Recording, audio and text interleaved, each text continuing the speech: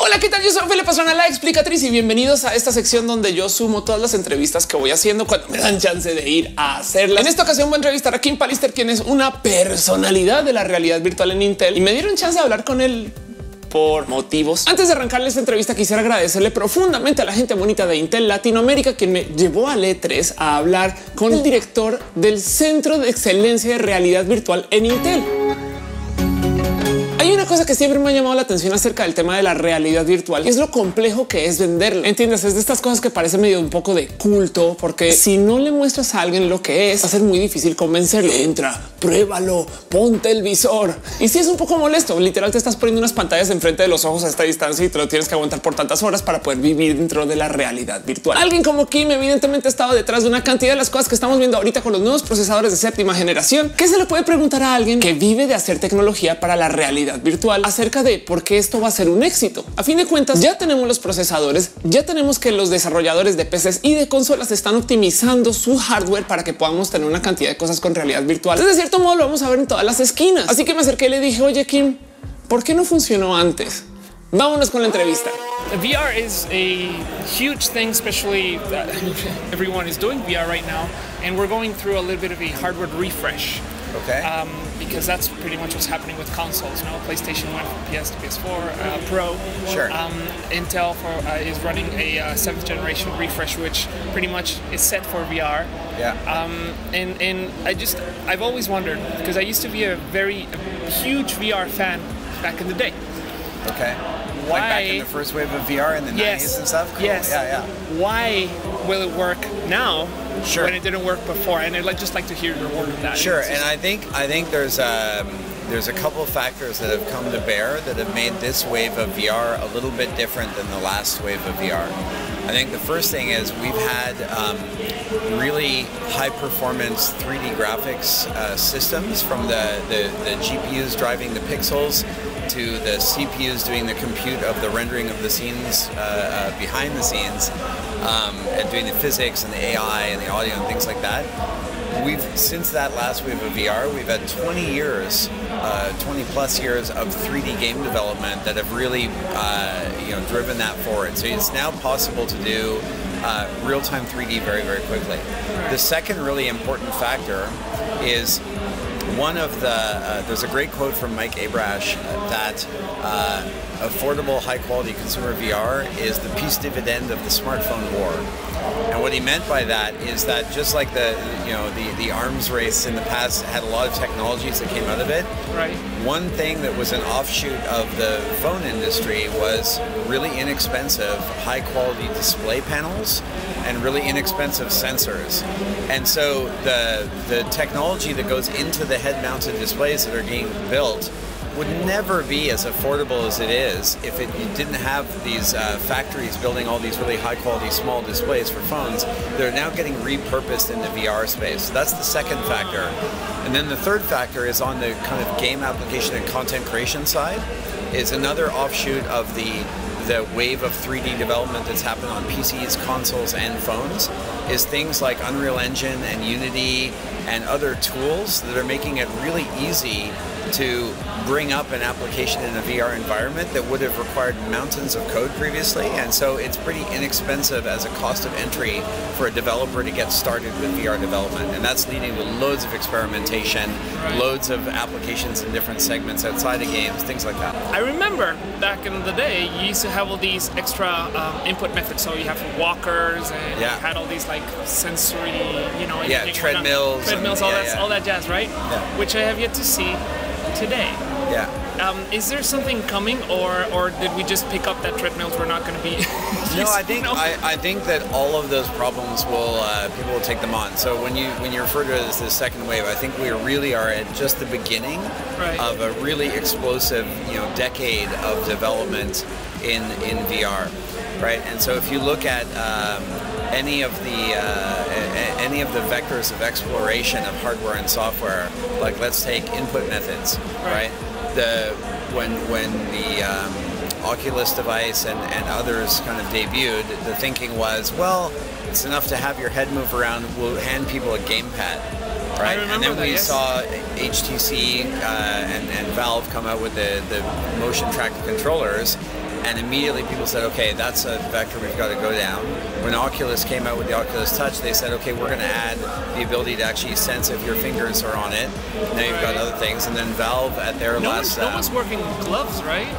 there are some third-party companies doing it, but Valve actually showed a controller. Uh, it was a prototype. They haven't announced whether they're going to ship it or not, but they showed something that senses the presence of all your fingers. They called it the Knuckles controller. Right, right, right. yes, And so it's handheld, and they can say, "Are you holding? Are you not holding?" Uh, Something, this, right? stuff. So you can look at those as examples of like the beginning of a whole area of exploration of how sophisticated does the hand controller get. Maybe it'll be gloves, maybe it'll be some other technology. All right. There are a few third-party companies doing things like treadmills uh, and, and other mechanisms for tracking uh, walking and letting you walk in place. And I think from our perspective, uh, this is one of the things that's really exciting about a lot of this happening in the PC industry is it has always been the most kind of uh, a Darwinian platform to allow lots of developers to experiment, hardware and software guys to experiment. They don't need to seek permission from one platform owner. They can go try something, and if it works, then other people can build on it, right? Right. Um, so we're going to see a lot of things happening there. Some of the things aren't going to work, some are, Right. uh, and and that's a, a pretty exciting area. Everyone's working on ways to get information from your body to the computer. Right. And then you have the screens and you know sensors. Yeah. So, so you, you, you make virtual reality because it's positioned. Sure. Um, is there anything? Have you seen? I mean, this is this, away from anything that's commercially available. Yeah. Because I haven't seen anything. Yeah. Is there anything coming or someone something that you know that someone's working on that will send information back to you? And Absolutely. So so so yeah. you get shot, you get pushed in. You, Sure, you know, sure. So the you know the, the way that we think about it is that uh, virtual reality is a you know you're you're driving some kind of a simulation on the machine, and you're trying to take as much input in about the the user and the environment around them. Whether that be, like you said, uh, tracking uh, controllers, biometrics, or eye tracking, or things like that. Right. Um, that's all input to the simulation, and we look at what are ways that we can drive things back. And so, obviously, the visuals is one part. Of course, right. Um, and, and audio is a rich vein of like you can do more sophisticated 3D audio and, and uh, bounce things off materials and locate it in 3D space correctly. And we are seeing people play around with uh, uh, you know haptics and things like this, so force feedback of different kinds. How will The you get force feedback on your so, the, so the simplest version of that is even the, the Vive controllers today have simple like vibration and, and this kind of thing. That's a start. Right. Um, we have a, a, a I'm going to forget the name of the product. We have a, a vendor in China that used an Intel Curie processor in a force feedback vest for VR. vest. Uh, it's a vest that you wear, and I mean, it's an early product, and they have some interesting demos. But it's an example of these companies trying different things. In their case, they put little actuators uh, in, I think it's like six places on the front and two in the back, so that you know if, if the zombie's coming at you from behind and you feel it on the back of the shoulder, you know to turn around and and uh, shoot them that way, right? Wow. Okay. Yeah. So you know, uh, there's a lot of challenges in these kind of wearable things. You have to accommodate people of different size. You you know, uh, how snug does it have to be so that you feel the impact and stuff. But that's why uh, it's a really interesting area for people to experiment within the PC and find what works. When you play with a controller, you're sitting down. When you're playing on VR, you you are designing this because you want Yeah. people to stand up things, right? Sure, this absolutely. Is, this is the end goal, Yeah. right? You want people to play around. Yeah, I mean, you- you want a, uh, a set of technologies and systems that allow people to simulate whatever environment they want. Some of those might be sitting down. If you are emulating the being the driver of a Formula One race car, you want to be sitting down, right? right. But yeah, uh, something like Job Simulator is a great example. If you if you want to be a short order cook, you should be standing up and move around the kitchen and do stuff, right? Right. And then yeah, there's a lot of challenges to overcome of. Um, you know, once you start looking at uh, how to locate people in a larger environment, but you have to do this all from, let's say, your living room. Right. You know, that's where we see people have tried things like locomotion or versus uh, teleporting and stuff. And you know, we're pretty confident that the, the developer community is, you know, very creative in like figuring out ways to do that, right? Like somebody came up with that teleporting mechanism, and then other people have come up with variants of it. And so uh, th- these problems will get solved over time. But we're only at the beginning of a very long road. I've yet to see, and I think this will be a fairly large area of exploration for VR. Uh, virtual attendance to events. So Sure. let's say you can't make it to E3, but you can have a uh, 3D camera robot Yeah. going by. I've actually, I'm trying to remember which event it was at. I've seen that. I saw some. I saw a virtual presence robot at an event that someone was attending. I'm gonna forget I, which I can conference see it was at. Uber making money out of that. You know, yeah, like- like- possibly, possibly, yeah. And I, you know, so I'm not uh, sure there's ever a substitute for like sitting down to dinner right. with someone. But if you can't make it, that's a good way to do it. And I think that giving people control over where they can take their virtual presence is an interesting idea. What's in the very near future for uh, Intel and VR? Just, just for part of, Sure.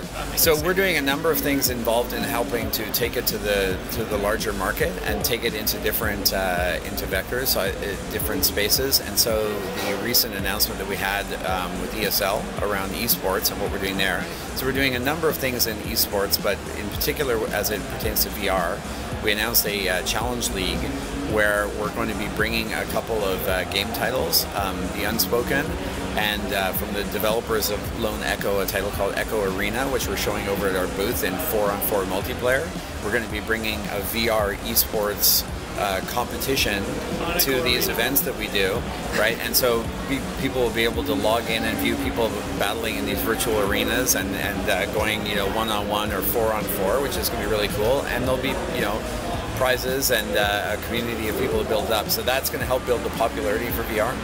Right. Then there's a number of things we're doing on the technology side, two of which we have demos of here. Um, in terms of showing the benefits of more processing power to VR, we're working with developers to uh, highlight new features and bells and whistles. If you have the latest Core i7 processor, there'll be extra stuff that appears in your VR title, making it more immersive. Uh, so we did things over the past year with titles like Arizona Sunshine and Star Trek Bridge Crew to show that kind of thing off. We'll be doing more going forward. Um, we're also looking at usages like uh, the mixed reality green screening to let people that are doing VR, whether for esports or they're a YouTuber or a game streamer, share those experiences with others and stream them to let people uh, know what they're doing. Um, we're also looking at a number of the things that we need that the industry needs to do to make VR more usable and bring it to a broader audience. So, for example, the PC solutions have the best performance, they have the best graphics, they have the most immersion, but they have a big cable hanging off your uh, hanging off your head. Yes. Right. And so uh, we've been working uh, back at Computex a few weeks ago. We announced a collaboration with HTC, where HTC is going to be using Intel's WiGig uh, 60 gigahertz wireless technology How, to build an how much data goes through that cable? Uh, I don't remember in terms of megabits, but I mean it's the full It's- Vive resolution. It's a it's a fair amount at 90 frames per second, plus the sensor data going back the other way. Those those things are running at 90 frames per second. Yes, that's right, and they have to run at a fairly low latency to be very responsive, right?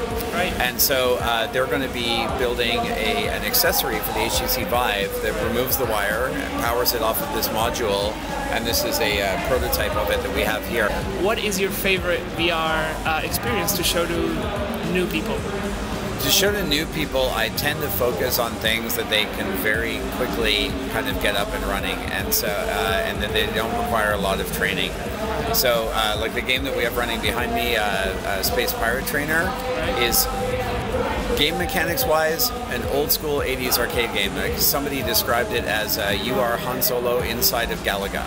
Right, so it's just aliens come up in front of you, and, and or uh, you know spaceships come up in front of you, and you shoot at them but you actually have to physically move to dodge their bullets coming back the other way. And so anybody that's played an arcade game that they put a quarter in back in the 80s uh, is able to kind of get the game mechanic, and then it's like they're they're instantly in VR. So that's a fun one. Uh, there's also a lot of the kind of uh, cartoonish, uh, humorous things that. Um, that, that uh, like a job simulator or Rick and Morty that, that people Oh, kind of get some some humor out of it right away. ¿Cómo lo vieron? Ojalá hubiera podido tener más tiempo con él. En últimas, no saben cuánto me abren los ojos poder platicar con alguien que ha tenido sus manos en la masa con estas cosas y que además siempre te queda el bichito de "Y hay algo que no me estás diciendo, no? Pero bueno, ya saben, si tienen algún amigo fan geek de la tecnología de los videojuegos, compartan esta entrevista y si no, por lo menos dejen aquí sus dudas en los comentarios. Cualquier duda que sientan que yo pueda responder. En últimas, aquí estaré leyendo. Los quiero mucho.